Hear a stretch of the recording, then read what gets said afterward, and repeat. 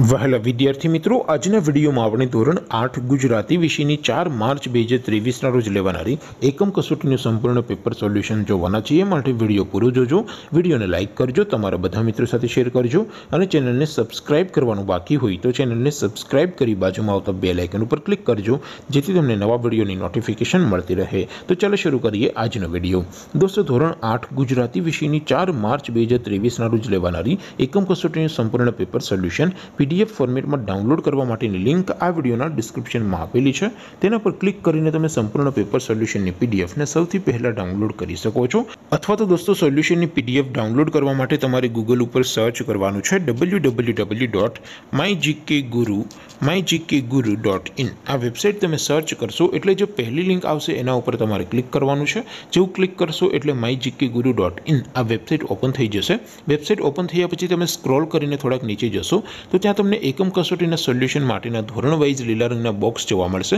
દોસ્તો, અહીંથી તમે કોઈ પણ ધોરણની બધા જ વિષયોની એકમ કસોટીના ક્વેશ્ચન પેપર અને તેના સંપૂર્ણ પેપર સોલ્યુશનની પીડીએફને સૌથી પહેલાં ડાઉનલોડ કરી શકો છો. જેમ કે દોસ્તો, અત્યારે હું ધોરણ આઠ માટે ધોરણ આઠવાળા બોક્સ ઉપર ક્લિક કરીશ. જેવું ક્લિક કરશો એટલે નવું પેજ ઓપન થશે. નવું પેજ ઓપન થાય, એમાં તમે સ્ક્રોલ કરીને થોડાક નીચે જશો, તો ત્યાં તમને ધોરણ આઠ પેપર સોલ્યુશન બે હજાર ત્રેવીસનું એક બોક્સ જોવા મળશે. જેમાં દોસ્તો ઉપર લખેલું છે ધોરણ આઠ ગુજરાતી પેપર તેની સામે ડાઉનલોડ બટન છે તો એ ડાઉનલોડ ઉપર ક્લિક કરશો તો ધોરણ આઠ ગુજરાતી વિષયની એકમ કસોટીનું ક્વેશ્ચન પેપર પીડીએફ ફોર્મેટમાં ડાઉનલોડ થઈ જશે તેની નીચે લખેલું છે ધોરણ આઠ ગુજરાતી સોલ્યુશન તેની સામે પણ ડાઉનલોડ બટન છે તો એ ડાઉનલોડ ઉપર ક્લિક કરશો તો ધોરણ આઠ ગુજરાતી વિષયની એકમ કસોટીનું સંપૂર્ણ પેપર સોલ્યુશન પીડીએફ ફોર્મેટમાં ડાઉનલોડ થઈ જશે તો દોસ્તો આવી રીતે તમે ધોરણ આઠના બધા વિષયોની એકમ કસોટીના ક્વેશ્ચન પેપર અને તેના સંપૂર્ણ પેપર સોલ્યુશનની પીડીએફને W W W dot my GK guru dot in આ વેબસાઇટ પરથી ડાઉનલોડ કરી શકો છો તેમ છતાં કોઈ ક્વેરી હોય કોઈ પ્રશ્ન ન સમજાતો હોય તો નીચે કોમેન્ટ કરીને પૂછી શકો છો